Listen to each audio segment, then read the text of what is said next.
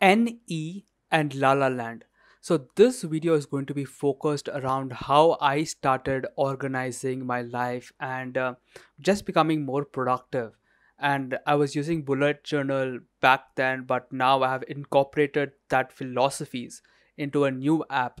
And this video is going to be about how to be more organized and getting stuff done in real life and not just be lost in this wonderful La La Land. So in this, I will be sharing. The first thing I'll be sharing is uh, how I uh, schedule and uh, organize organize um, life in a in a in like a to-do list way. Second thing is so this will uh, help you in understanding what to do.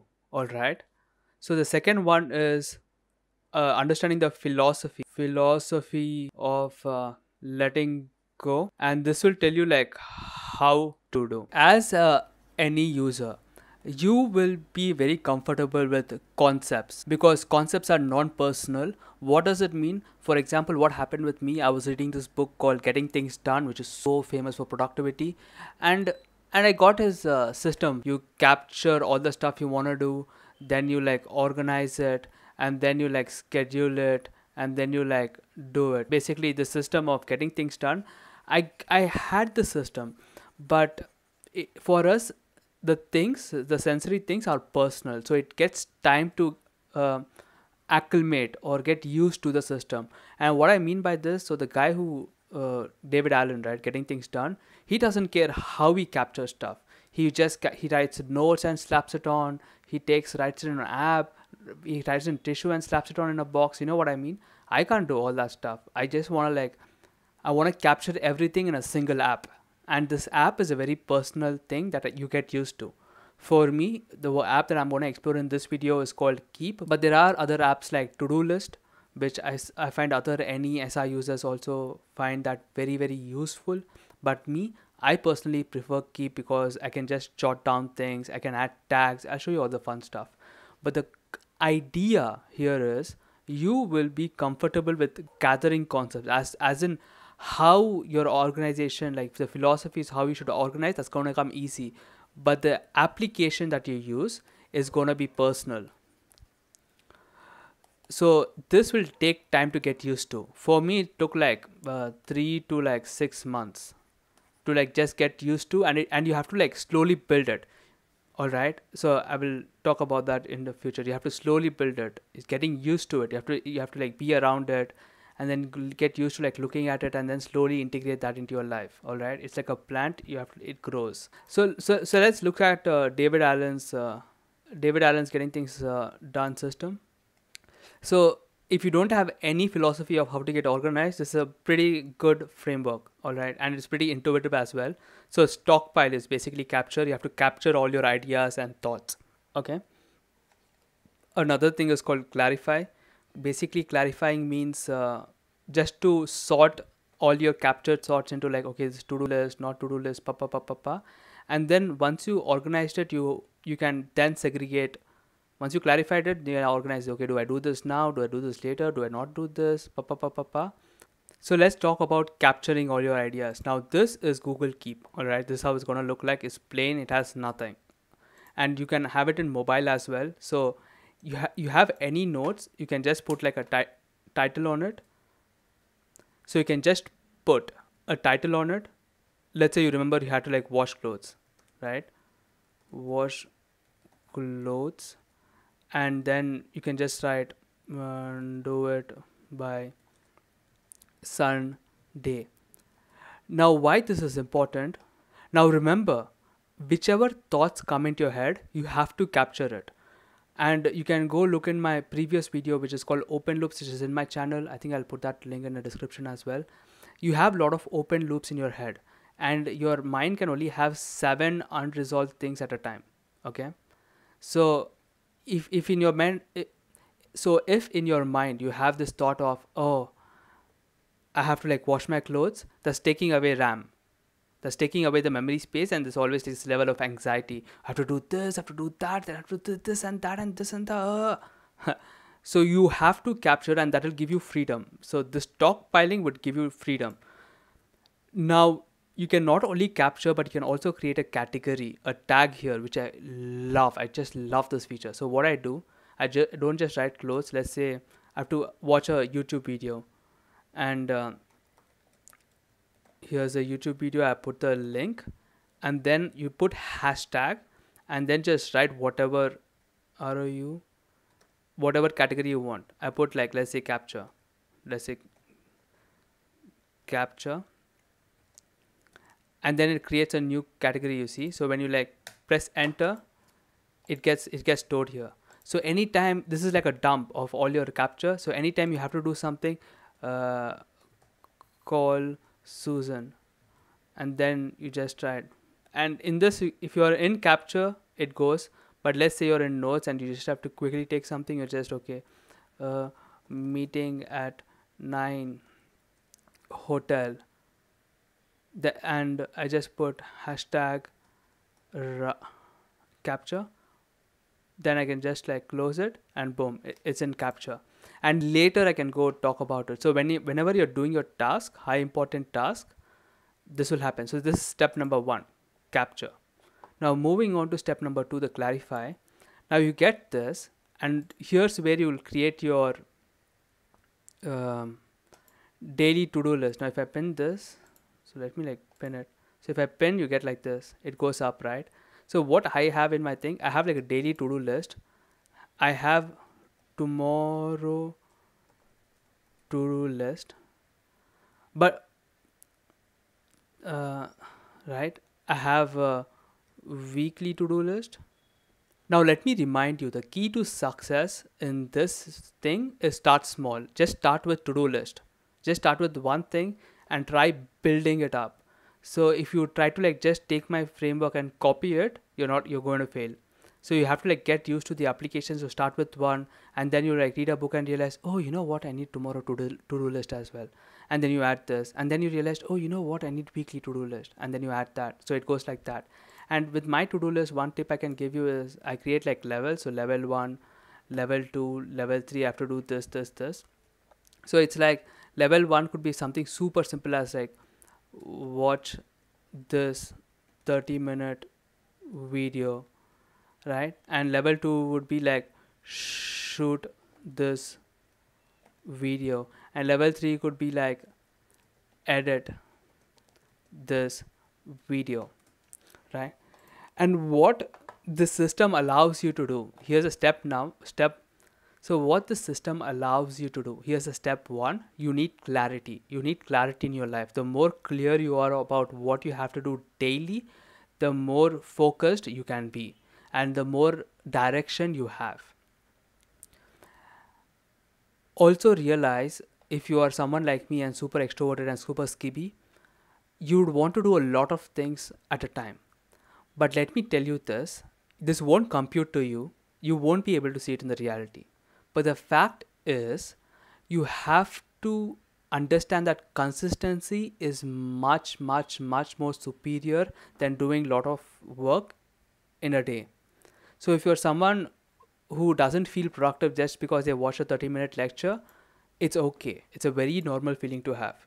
However, the key here is if you watch 30 minute video every day, that is much better than just cramming in six hours of videos uh, one day a week.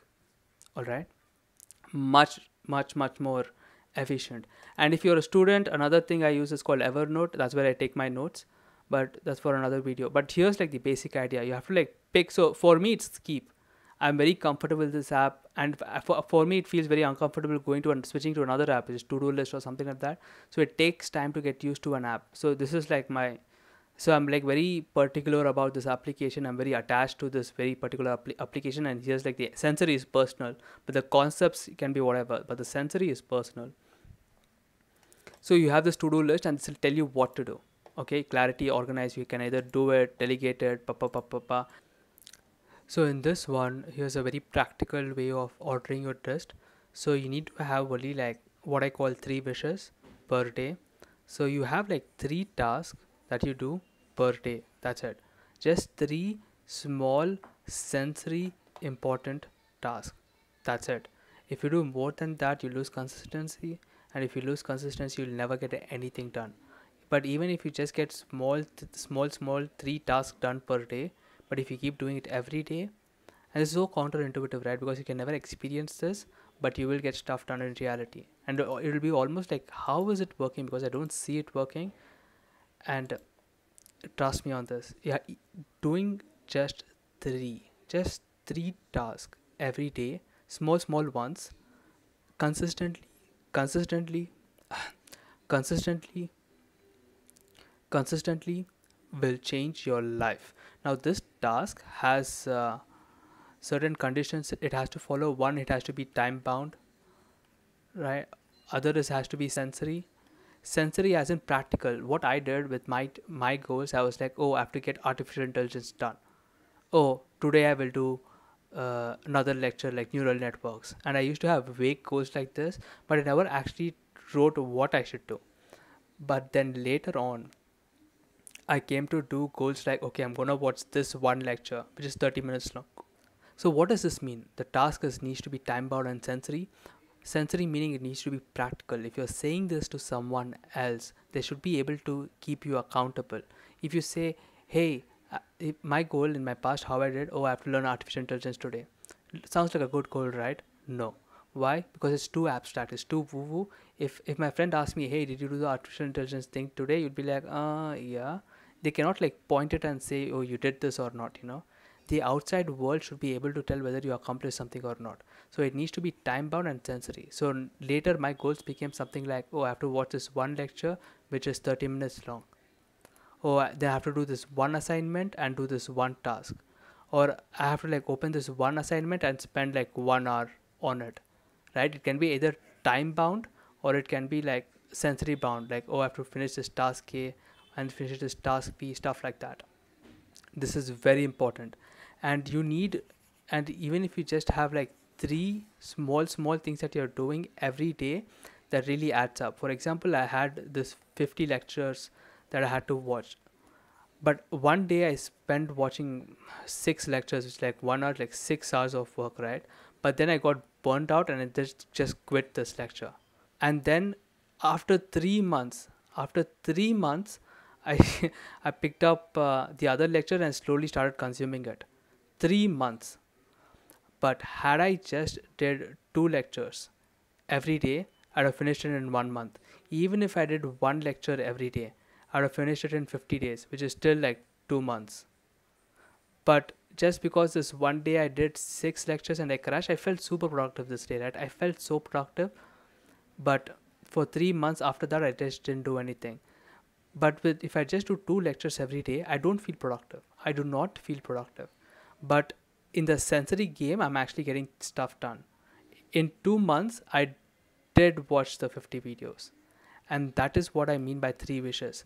Start by three small wishes all right? And just start getting used to this idea. Your to-do list needs to have like three small things that you have to do. Very small things. It, it make it as small as possible okay? And here's another thing right let's say you wrote your three goals like let's say three wishes. Let's say you wrote your three wishes. Now let's say you have like your wish so you have your like wish one wish two wish three. But on on the here's like day one you only could be able to do one wish and you couldn't do the other two wishes. That says that these two wishes were too big or this one was like too big. So you have to make sure like you you split the wishes into like smaller wishes so that you have three wishes in your day every day. All right if you're not able to complete three wishes that only means that your wishes are too big. All right so make them smaller. Remember three wishes a day needs to be time bound and sensory and make sure if you're not able to do all the three wishes that only means that your wishes are too big. Make it smaller chunk it down. Like make it bite size not not bite size. You know how you eat an elephant? You eat it one bite at a time. If you still need more information on how to like organize the to-do list you can check out brian tracy's um, eat that frog. And you don't have to read the book. You can just go to images and find an image which summarizes look look at you just find an image which summarizes and just pick some idea and move on. This is the kind of stuff you don't want to consume. You just have to like take it use it like set goals plan ahead 80 20 rule long term. Someone has beautifully summarized this. You just go okay label your task a b and c. Just take this and apply it. Don't think about it too much.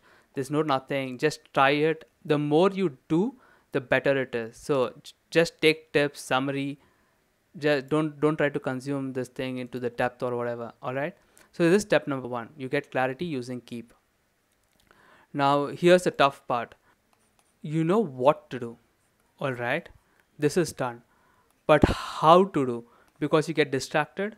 So for me pomodoro did not work. It's very hard for me to like make it work. So what i do there are two types of goals you can set. Let's say you have to like watch a two hour lecture. One is either like task bound other is um, time bound. All right?